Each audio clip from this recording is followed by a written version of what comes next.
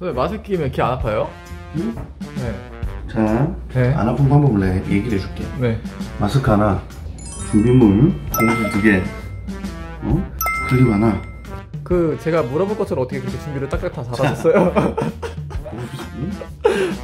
고무줄, 저거 다 줄게. 네. 이들 있지? 응. 자, 고무줄을 교차해서 이렇게 쫙, 응? 고무줄 교차해서 이렇게 쫙, 어? 됐나? 음.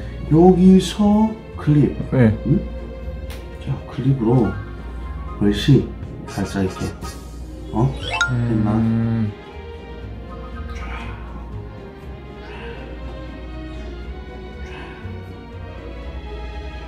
됐나? 됐지? 끝.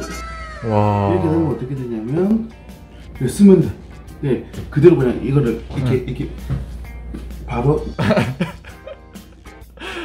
이렇게 이렇게 쓰- 쓰면 어, 바로, 어, 돼, 바로 되거든. 어, 어, 이게 바로 이게 안차 편해. 어. 차로 차. 어. 어? 오. 여러분들 걱정하지 마시고 이렇게 만들어 쓰세요. 그리고 벗을 때도 이렇게 이렇게 이렇게 바로 이렇게 되거든. 아 머리가 살짝 망가진다는 점은 아니, 약간 머리- 있네요. 살짝만 이렇게 하면 돼. 살짝만 하면 되고 자, 음. 쓸 때도 네. 한 번에 한 번에, 가능해 이게 어 어. 이렇게 어. 이렇게 해가지고 어, 어, 이렇게 어. 와. 깔끔하다 이거 봐봐 깔끔하지 네.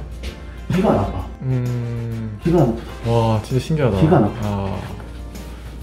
피가 피가 안 아파 이거는 전혀 여러분들 걱정하지 마시고 마스크는 이렇게 쓰면 됩니다 예? 아.